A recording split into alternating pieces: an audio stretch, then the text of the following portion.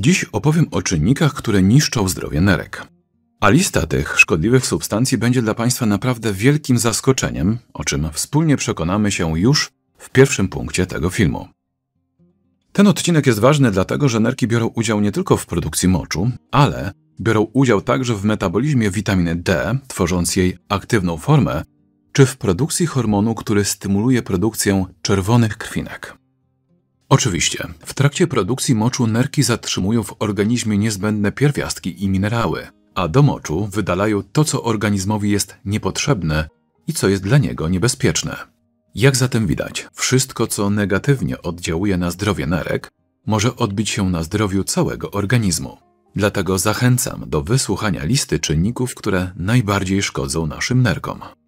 A dzisiejszy film, podobnie jak poprzedni, rozpocznę od żywności przetworzonej, a w tym od fast foodów, ponieważ wydaje mi się, że nikt, ale to kompletnie nikt nie widzi połączenia pomiędzy spożywaniem fast foodów a gorszą pracą nerek, a nawet ich uszkodzeniem.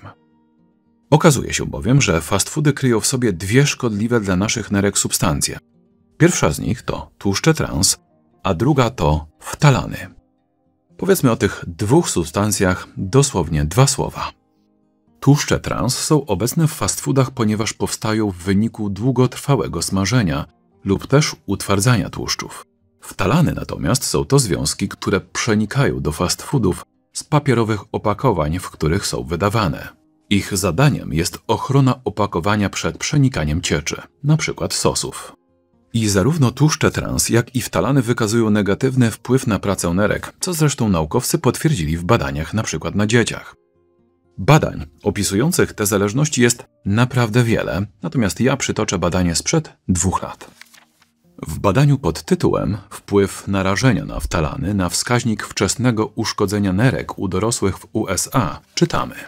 Nasze wyniki wskazują, że niektóre metabolity wtalanów mogą przyczynić się do zwiększonego ryzyka wczesnego uszkodzenia nerek. No dobrze, powiedziałem, że wtalany przenikają z opakowań do fast foodów, do ich wnętrza, ale ktoś może powiedzieć umyślnie, że nie ma się czym martwić, bo ten poziom przenikania może być niewielki. Albo być może w ogóle nie występuje, a być może tą teorię sobie wymyśliłem tylko na potrzeby dzisiejszego filmu. Skąd zatem ta pewność, że ci, którzy spożywają dużo fast foodów, mają więcej tych związków w swoim ciele? Z badań naukowych. W badaniu pod tytułem Spożycie fast foodów oraz narażenie na bisfenol i wtalany czytamy.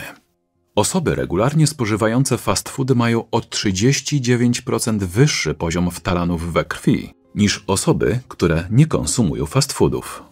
A prócz wtalanów, tak jak powiedziałem na początku, zawarte w fast foodach tłuszcze trans także negatywnie oddziałują na zdrowie nerek.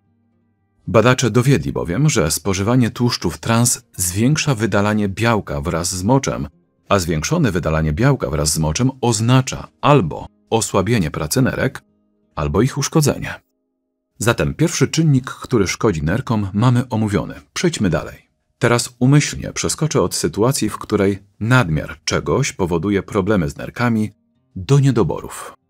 Jest jeden taki utajony niedobór, którego większa część osób nigdy nie będzie świadoma, a który to niedobór przyczynia się do rozwoju przewlekłych chorób nerek. Dzieje się tak dlatego, że w rutynowych badaniach poziomu tego pierwiastka we krwi praktycznie nigdy nikt nie bada.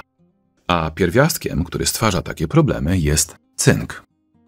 Nerki, ze względu na to, że narażone są na kontakt z substancjami przemiany materii, które wydalane są do pęcherza, a potem na zewnątrz, narażone są tym samym na wzmożone działanie wolnych rodników, które niszczą tkanki nerek. Natomiast, jak się okazuje, to właśnie cynk w nerkach zmniejsza ten stres oksydacyjny, utrzymując je w zdrowiu. Zatem jak, no chyba nie trudno wywnioskować, kiedy organizm człowieka będzie borykał się właśnie z niedoborami cynku, w tej walce z wolnymi rodnikami nerki pozostaną osamotnione, a to grozi ich uszkodzeniem.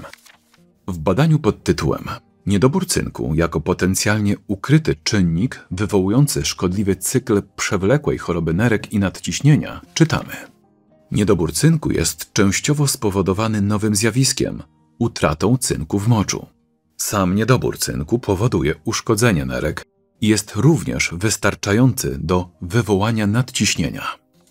Jest jeszcze jeden groźny niedobór, który szkodzi zdrowiu naszych nerek, ale jego szkodliwość ujawnia się tylko u osób otyłych. Pierwiastkiem, którego braki w trakcie otyłości, co jest bardzo ważne, są w stanie osłabić pracę nerek, jest selen. W badaniu sprzed dwóch lat pod tytułem Związek pomiędzy poziomem selenu a przewlekłą chorobą nerek u Chińczyków w średnim i starszym wieku czytamy – Negatywny związek pomiędzy selenem a przewlekłą chorobą nerek obserwowany jest jedynie u osób z nadwagą, co zasługuje na dalsze badania. Jest to mało pocieszająca informacja, gdyż w badaniu polskich gleb z 2001 roku, w którym oznaczano stężenie selenu w polskich ziemiach, ustalono, że niedobór selenu występuje na ponad 70% powierzchni polskich ziem. Możemy zatem wywnioskować, że roślinność, którą spożywamy, która na tych glebach wyrosła, również ma niewystarczające stężenie selenu.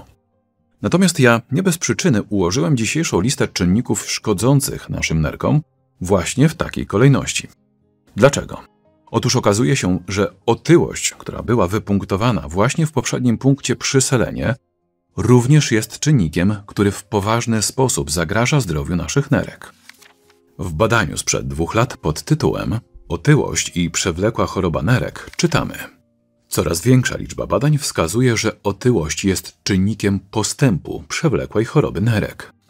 Wzrost masy ciała szkodzi nerkom, ponieważ w przypadku otyłości dochodzi do wzrostu ciśnienia wewnątrzkłębuszkowego w nerkach, co może uszkodzić nerki i zwiększyć ryzyko rozwoju przewlekłych chorób nerek w przyszłości. A skoro jesteśmy w temacie otyłości, czyli nadmiernej ilości tłuszczu, to jest jeszcze jeden stan chorobowy związany z nadmierną ilością tłuszczu, który uszkadza nerki. A jest to tłuszcz zlokalizowany w naszej wątrobie. Mowa oczywiście o stłuszczeniu wątroby. Lekarze niestety nie informują osób ze stłuszczeniem wątroby, że w przypadku tej dolegliwości powinni zwrócić szczególną uwagę na to, by zbadać swoje nerki. A to spory błąd. Gdyż jak czytamy w badaniu pod tytułem Niealkoholowa stłuszczeniowa choroba wątroby i nerek.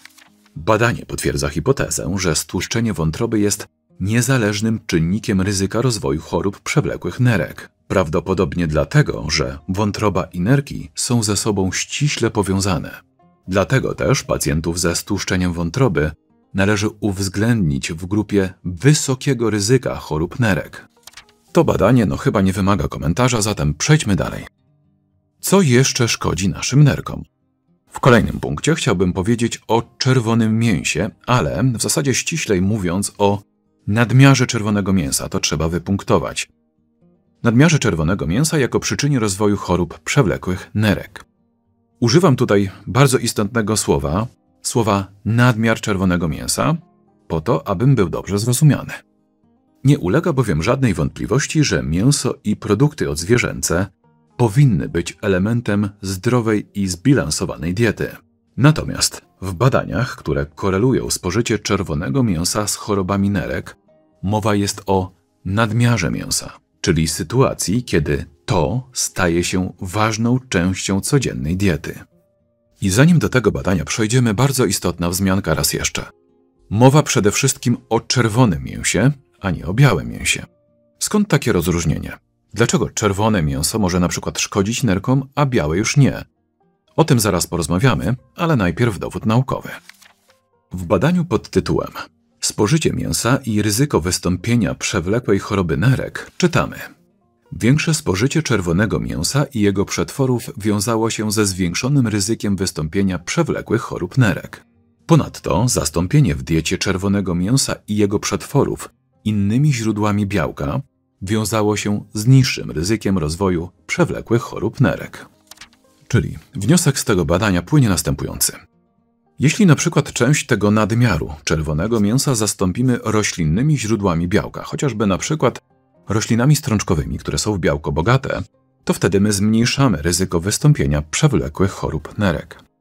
A ponieważ w wielu badaniach tylko czerwone mięso korelowało z uszkodzeniem nerek, ale prócz tego dopowiem, co będzie tematem przyszłych odcinków, że również korelowało z rozwojem cukrzycy czy też chorób nowotworowych, ale powtarzam cały czas, chodzi o duży nadmiar mięsa, a takiego efektu nie wykazywało na przykład białe mięso, powstaje pytanie dlaczego? Otóż czerwone mięso zawiera w swoim składzie cząsteczkę o nazwie kwas sialowy. Związek ten znajdowany jest w blaszkach miażdżycowych, wycinkach chorych nerek czy nawet w komórkach nowotworowych. A tej cząsteczki nie ma w białym mięsie. Jej produkcję zatraciły także organizmy ludzkie. Ale proszę nie wpadać w panikę, ten związek jest aktywnie usuwany z ludzkiego organizmu, jeśli nie przekroczymy zdolności ludzkiego organizmu do jego usuwania. Natomiast o tej substancji, tak jak powiedziałem, będą kolejne odcinki. I to jest właśnie potencjalna przyczyna, poprzez którą to właśnie czerwone mięso, w dużym nadmiarze to znowu słowo z wykrzyknikiem, jest szkodliwe dla naszego zdrowia. Zatem, żeby ten punkt został dobrze zrozumiany, nie boimy się mięsa, nie boimy się jajek, nie boimy się masła, nie boimy się nabiału, nie boimy się nawet czerwonego mięsa, ale boimy się nadmiaru czerwonego mięsa w diecie. A ja przypominam, że my wciąż rozmawiamy o czynnikach, które negatywnie wpływają na zdrowie naszych nerek. Zatem, skoro była mowa o mięsie, to musimy powiedzieć również o białku, a w zasadzie ponownie o nadmiarze białka w naszej diecie, który to nadmiar przyczynia się do uszkodzenia nerek. Nie bez przyczyny mówię w tym punkcie o białku, ponieważ ten punkt następuje po mięsie, a mięso jest bogatym źródłem białka. Ale białko występuje bogato także w niektórych roślinach, np. w soczewicy, w migdałach. Oprócz tego możemy duże ilości białka odnaleźć, oczywiście w jajach, w tofu czy w różnego rodzaju serach. Dlatego pamiętajmy, że wszelkiego rodzaju diety, które preferują spożycie dużej ilości białka, to jest poważne zagrożenie dla zdrowia naszych nerek. I tutaj podpowiem, że jeszcze kilkanaście lat temu diety wysokobiałkowe, czyli diety proteinowe, były bardzo popularne wśród osób, które się odchudzały. Jedną z takich modnych, wysokobiałkowych diet była wszechobecna we wszystkich zakątkach świata dieta Ducana. Jednak naukowcy nie pozostawili na tej diecie ani jednej suchej nitki. Polscy naukowcy w 2014 roku w badaniu pod tytułem Ocena spożycia pokarmu przez kobiety stosujące wysokobiałkową dietę Ducana podsumowują. U kobiet stosujących wysokobiałkową dietę Ducana stwierdzono wiele nieprawidłowości żywieniowych. Długotrwałe stosowanie tej diety może stwarzać zagrożenie dla zdrowia w postaci chorób nerek, wątroby, osteoporozy i chorób układu krążenia. Oczywiście, dociekliwi będą pytać, dlaczego wysokie spożycie białka szkodzi nerkom. Otóż wysoka podaż białka w diecie prowadzi do rozszerzenia tętniczek nerkowych, co z czasem prowadzi do uszkodzenia struktur nerek w wyniku nadmiernej filtracji. A ja szczerze powiedziawszy, tak się rozgadałem, że nie powiedziałem o podstawach, czyli niewystarczającym spożyciu wody. Jak być może wszyscy wiemy, krew, którą nerki filtrują, to w głównej mierze woda. Zatem zbyt mała podaż płynów to ogromny stres dla tych organów ponieważ muszą one odzyskać tę samą ilość elektrolitów i usunąć tę samą ilość zbędnych metabolitów przemiany materii w mniejszej objętości wody, a to sprzyja ich uszkodzeniu i tworzeniu się kamieni nerkowych. A na potwierdzenie tej tezy spójrzmy na jedno z badań, w którym czytamy, że powstawanie kamieni nerkowych jest bezpośrednio związane z brakiem przyjmowania płynów i jest zdecydowanie jedną z najczęstszych przyczyn Nasze nerki niestety również są niszczone przez różnorakie leki. Dużo się mówi o tym, że leki niszczą żołądek, wątrobę czy też jelita, natomiast zapominamy o tym, że niektóre z nich, przyjmowane długofalowo, mogą szkodzić nerkom. Oczywiście nie chodzi o wszystkie leki, ale o konkretne grupy, a głównie o niesteroidowe leki przeciwzapalne. Na tej liście wrogów naszych nerek widnieją kwas acetylosalicylowy, ibuprofen, naproxen, ketoprofen czy diklofenak. Leki te nie tylko zaburzają pracę nerek, ale również działają toksycznie na ich struktury. Niesteroidowe leki przeciwzapalne działają szkodliwie na nerki, ponieważ hamują produkcję tzw. Tak prostaglandyn, a dzięki temu mechanizmowi zmniejszają właśnie stan zapalny. Niestety, każdy kij ma dwa końce. Prostaglandyny wykazują ochronne działanie na nerki, a ich brak lub też oczywiście mniejsze stężenie to poważny problem dla nerek i oczywiście ryzyko rozwoju chorób przewlekłych. Oczywiście ponownie mowa jest o osobach nadużywających niesteroidowe leki przeciwzapalne. Bo jeśli raz na jakiś czas pomożemy sobie w ostrym bólu, korzystając z tych leków, nic się nie stanie. A teraz chciałbym porozmawiać o takich papuszkach nierozłączkach, czyli o dwóch pierwiastkach, których równowaga jest niezbędna do prawidłowej pracy naszych nerek. Mowa o sodzie i potasie. Ten pierwszy znajdziemy oczywiście w soli kuchennej i tutaj pojawia się to nasze zmartwienie, które może zaważyć na zdrowiu naszych nerek. A mianowicie, wiele osób lubi sypnąć sobie solą na swoje dania, niczym pogoda w ostatnim czasie śniegiem.